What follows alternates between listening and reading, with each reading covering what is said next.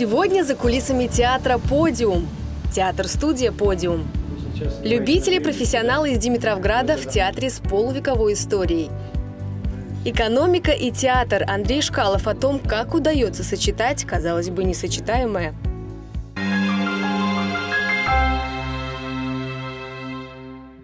Вот самая древняя история с 57 года. Это театральной студии руководил такой активист театральный. Он не режиссер, но актер был очень хороший на самом деле.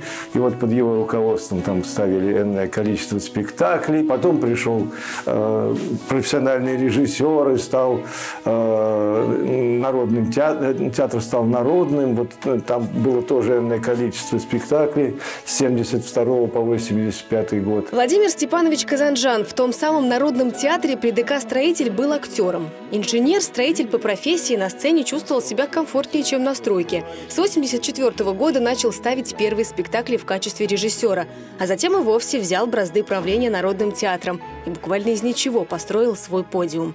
Первые 10 лет спектакли шли нечасто. Одна премьера за сезон, к которой 9 месяцев готовились и 3 играли. Где-то году к 94-му, кажется, если... Да, да, 94-й, 94-95 год театр становится репертуарным.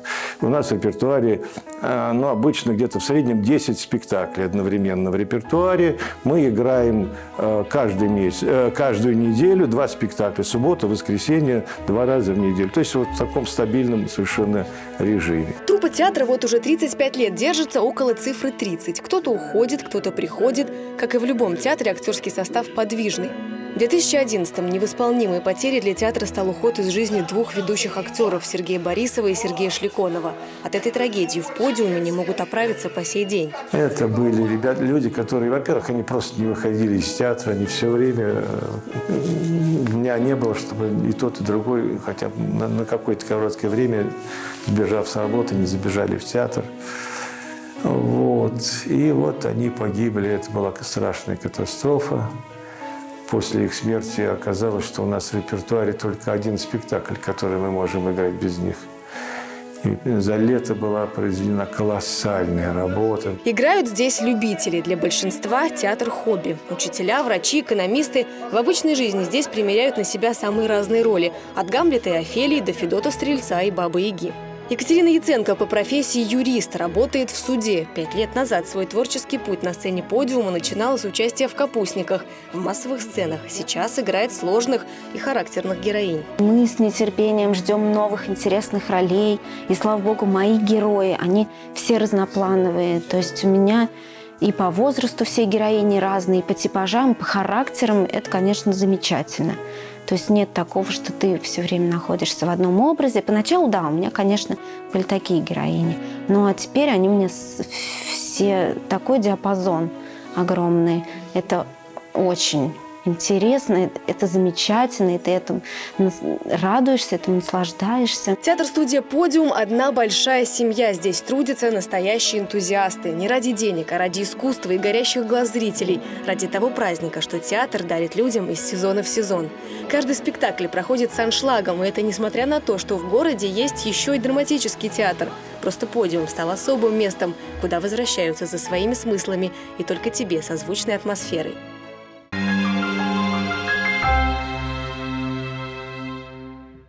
Я еще начинал в 1984 году с единой мыслью, что пьесу надо выбирать как женщину. Так, чтобы «а» и все. А так вот, если бы нос одного представить губам другого, это уже ерунда. Выбор пьесы для режиссера – дело порой мучительное. Владимир Степанович признается, у него нет списка, из которого он с легкостью выбирает, что же поставить на этот раз. Авторов много, но не каждая пьеса отзывается в душе. На сцене подиума современная драматургия не самое частое явление, а современная зарубежная тем более. Другое дело Чехов. Без произведения Антона Павловича не обходится практически ни один сезон. Почему не любят Чехов э, люди? Многие а после школы не любят. Потому что почему-то у всех представление, что это ужасно скучно. Я не понимаю, что там может быть скучного. Очень живые спектакли, очень живые. Невозможно скучать там как-то не получается у нас совсем. Есть спектакли, которыми сам режиссер недоволен, но тех, за которые не стыдно, гораздо больше. Чеховскими гордится абсолютно каждым. Однажды в книге предложений после спектакля школьник оставил запись «Теперь я тоже люблю Чехова». Это самая высокая оценка для режиссера. Мы вот поставили э, первые три сестры спектакль. Вот представьте себе, что он шел, у нас в репертуаре было ну, где-то ну, не меньше 10 спектаклей. И играя два раза в неделю, мы три сестры сыграли 21 раз за сезон. Мы же играли не для пустого зала. Подполковник Вершинин. Честь имею представиться. Вершинин. Очень, очень рад, что наконец я у вас. Какие вы стали, ай-яй, какие вы стали. Садитесь, пожалуйста. Благодарю вас. Нам очень приятно.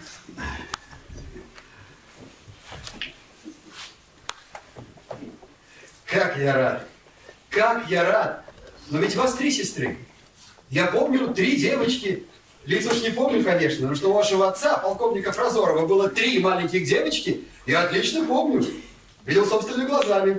Любовь к классике настолько сильна, что трех сестер Владимир Степанович пересмотрел и вновь поставил в новом прочтении. К тому же режиссер хотел видеть на сцене девушек, соответствующих возрасту чеховских героинь. И когда в труппу театра пришли новые молодые таланты, пазл сложился. Этим спектаклем «Подиум» открыл новый театральный сезон и выступил на фестивале «Театральный Атомград». О, боже мой! Пройдет время, и мы уйдем навеки. Нас забудут. Забудут наши лица, голоса. И сколько нас было, но страдания наши перейдут в радость для тех, кто будет жить после нас. О, милые сестры, жизнь наша еще не кончена. Будем жить.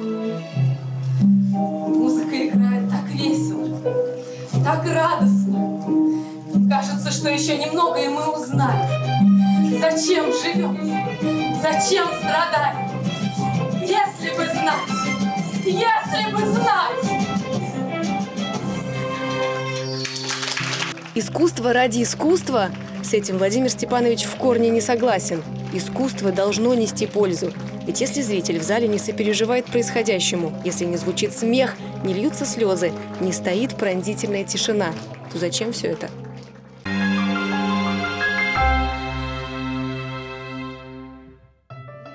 В это трудно поверить, но практически вся сценография и костюмы к спектаклям подиума – дело рук одного человека. Театр можно смело назвать семейным делом, ведь актриса и художник Елена Бакалдина – дочь режиссера Владимира Казанжана. Помимо занятости на сцене, сначала просто помогала художнику Наталье Винокуровой, шила костюмы. Ну а потом первый спектакль, это, наверное, в каком, 2004 году, в 2004 году был замок в Швеции. Она постепенно, художница уже уходила, нашла себе другое место, а, и как-то постепенно я встала на ее место.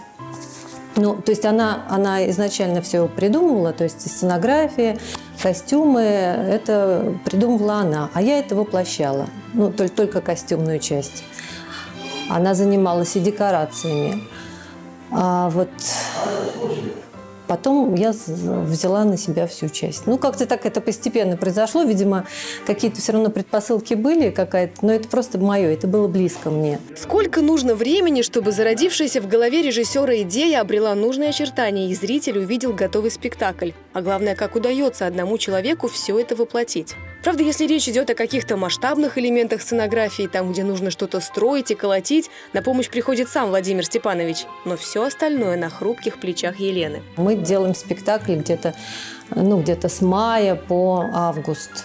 То есть за это время идет и вся творческая вот эта часть, то есть все при, при придумывание, вся идея а, и воплощение, но это вот где-то 4 месяца все это длится. Я вот больше, наверное, не художник, я, наверное, больше скульптор, потому что я вот я не знаю, что будет. Вот в процессе я вот что-то леплю, леплю, тут не хватает, там не хватает, и вот и потом, опа, получилось.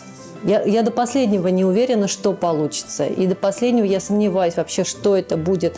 А будет ли все это... Ну, как бы стилистику это я, в, в принципе, изначально продумываю, чтобы как бы это все было, естественно, в одном стиле.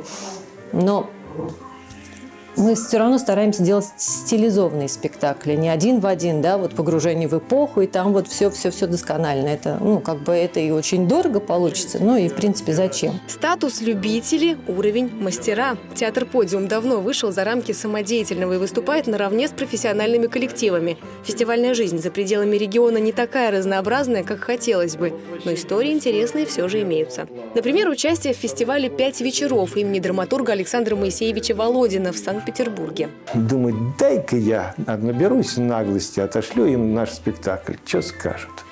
Я отослал, значит, там как раз принимали заявки, я в интернете это посмотрел, отправил, но ничего не написал, что за театр, чего, отправил и все. Вот. И что-то тишина, молчок, молчок, молчок. А тут я как раз там оказался в Питере сам. И я пришел к ним туда. Я говорю, вот мы тут послали что-то интересное. Ой, это вы, мы, да, конечно, берем, все, все, все. И тут я говорю, э, а вы, говорю, знаете, что мы любительский театр? Тут возникло молчание, наверное, минут на пять. Она долго это переваривала, а потом сказала, а мы никому не скажем. С одноименным спектаклем по пьесе Володина «Пять вечеров» подиум тогда удивил всех. Карты, что на сцене выступает театр любительский, раскрыть все же пришлось. Но это только усилило восторг зрителя. Что говорить о фестивалях любительских? Участвуют редко, но метко, забирая все высшие награды.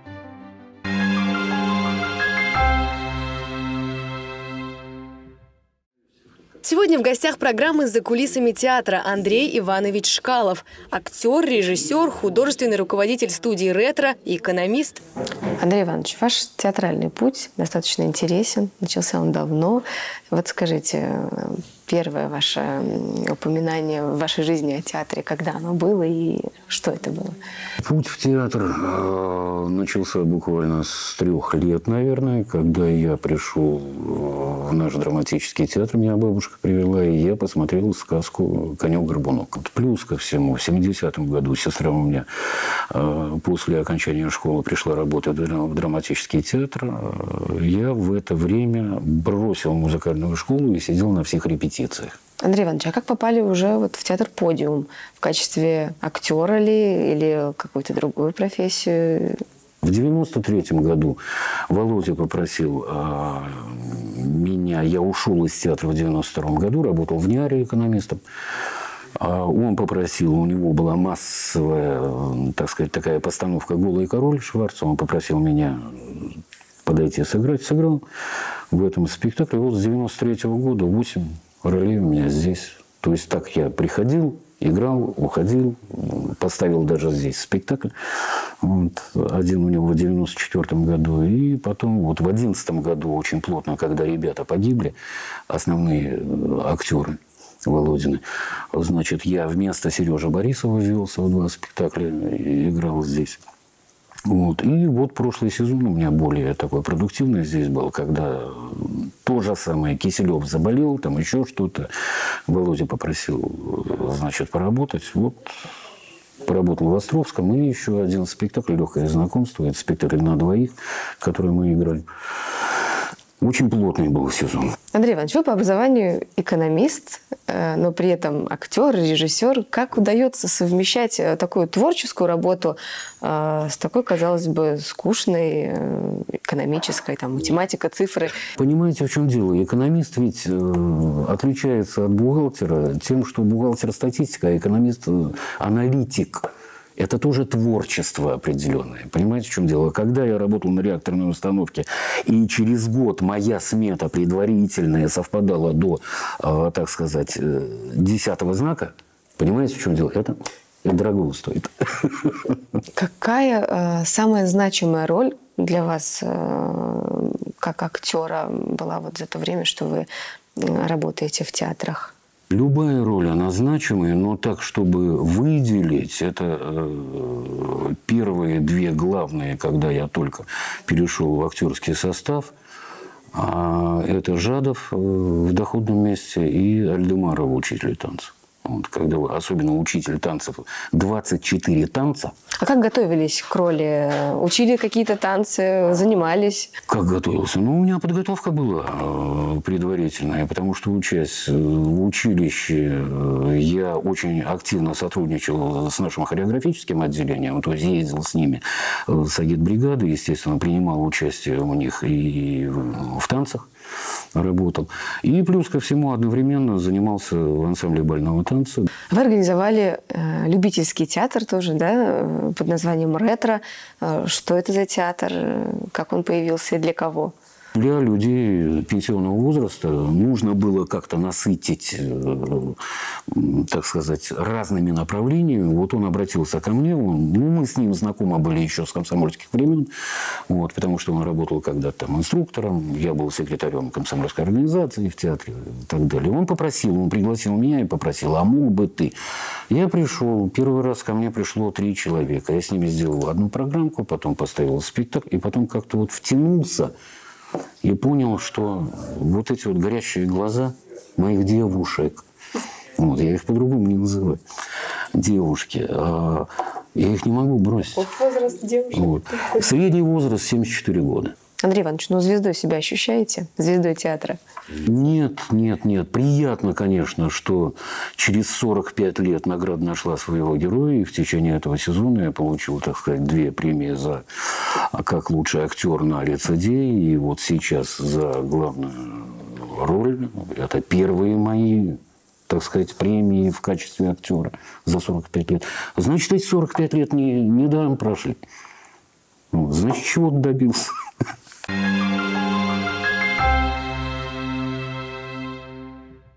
Привет, я Стас. А я Алиса.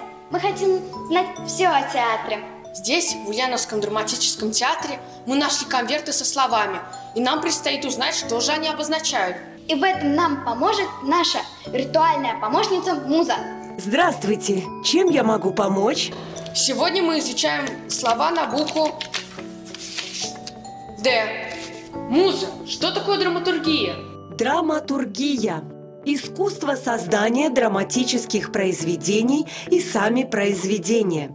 Драматический текст состоит из диалогов персонажей и пояснений автора и предназначен для исполнения в театре. А что такое декорация, Муза? Декорация – это художественное оформление театральной сцены – Декорации создают иллюзию места, в котором происходит действие на сцене. Помнишь, в сказке про Буратино был нарисованный котел на стене? Это тоже декорация. Ребята, запомните и вы, что обозначают эти слова. А мы с вами прощаемся до следующей недели. Пока! Какие нравятся спектакли? Ну, мы смотрим разные, конечно. То есть э, мужская половина моей семьи предпочитает комедии все-таки, ну, чтобы, то есть, прийти отдохнуть. Вот, а я смотрю, ну, абсолютно все. Я всеядна. Люблю и драмы, люблю пьесы, которые дают э, пищу для размышления, чтобы можно было подумать о чем-то. Ну, и особенно, конечно, когда я привожу учеников, потому что это важно. Вот, потом с ними обсудить что-то, да, то есть какую-то серьезную тему, возможно. Такие, которые классику не возвращают. Поэтому сейчас ходить очень сложно и смотреть по телевидению некоторые вещи. В общем-то, без разницы практически, потому что не так часто ходим, поэтому всегда в радость, когда выходим.